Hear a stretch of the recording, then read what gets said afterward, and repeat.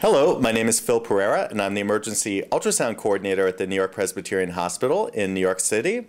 And welcome to Soundbites Cases. In this module, we'll continue our journey looking at the views of the trauma fast exam. Hopefully, you've had a chance to join me prior for the views of the right upper quadrant. And in this module, we're going to look specifically at the left upper quadrant views of the trauma fast exam, known traditionally by two terms, the splenorenal or the perisplenic views. In an upcoming module, we'll look specifically at the suprapubic view or bladder view of the trauma fast exam. There's a lot of information we can gain by looking at the left upper quadrant in our trauma patients, and we'll need to know that it's not a mirror image of the right upper quadrant, that the spleen offers less of an acoustic window onto the left upper quadrant than the liver does on the other side. Here's a slide reviewing how to perform the left upper quadrant view of the trauma fast exam. As the spleen offers less of an acoustic window on the left upper quadrant, we need to bring the probe in from a more posterior position. Thus the mantra, knuckles to stretcher. Optimally, we're using a smaller footprint probe that can get in between the ribs and get a good view into the left upper quadrant area. Position the probe in the long axis view with the probe marker towards the patient's head at about the mid-axillary line or posterior axillary line, with your knuckles almost touching down to the bedside. We'll concentrate on two areas, most importantly, the area above the spleen and below the diaphragm, where fluid will preferentially accumulate, but rounding out our exam we'll look inferior at that splenorenal space. Now that we know how to perform the left upper quadrant view of the trauma fast exam, let's take a look at a normal ultrasound image. I have the probe oriented towards the patient's head, so superior chest cavity is towards the left, inferior abdominal cavity towards the right. Notice the spleen, the large organ in the middle of the image here, and the kidney, the football-shaped organ, as seen inferior and posterior to the spleen. Notice the curving white line just above the spleen, which is the diaphragm. Recall that in the left upper quadrant that fluid will accumulate preferentially in between the spleen and the diaphragm and will be a dark or anechoic stripe positioned there. Here's another normal video clip taken from the left upper quadrant. In this case, I'm swinging the probe from inferior, looking at the splenorenal interface, to superior, looking at that infradiaphragmatic space. And here as I freeze the image, we see the spleen right in the middle of the image, the curving white line making up the diaphragm, and notice the thoracic cavity as seen just left or superior to the diaphragm. If the patient had a significant hemothorax or fluid collection in the thoracic cavity, that would be represented by a dark or anechoic fluid collection just above the diaphragm in the thoracic cavity. Now that we've had a chance to examine several normal video clips as taken from the left upper quadrant, let's look at a pictorial here showing a positive left upper quadrant fast exam. Here we see superior located to the left, inferior to the right. We see the spleen in the middle of the image, the kidney inferiorly to the right, the thoracic cavity with the diaphragm to the left of the spleen or superior.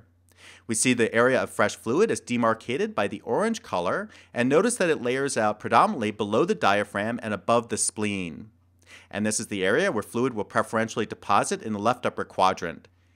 There are ligaments that sling from the diaphragm all the way to the colon that prevent the flow of fluid into that area between the spleen and the kidney until the fluid is relatively large within the left upper quadrant. So now let's take a look at a positive exam from a trauma patient. And we see here the spleen in the middle of the image, the kidney inferiorly located to the spleen, and notice the large amount of fresh fluid, that dark or anechoic fluid collection that layers out above the spleen in the infradiaphragmatic location and anterior to the spleen. This indicates a large amount of fresh blood in the left upper quadrant, and we also see a blood clot, that echogenic material, waving around anteriorly to the spleen. So a positive exam in a trauma patient. Here's another positive left upper quadrant view. Notice here, there's a larger amount of fresh fluid present on this examination. We see the spleen in the middle of the image, the kidney inferiorly there to the right, and all the dark fresh fluid as indicated by the dark or anechoic fluid collection as seen infradiaphragmatic and above the spleen.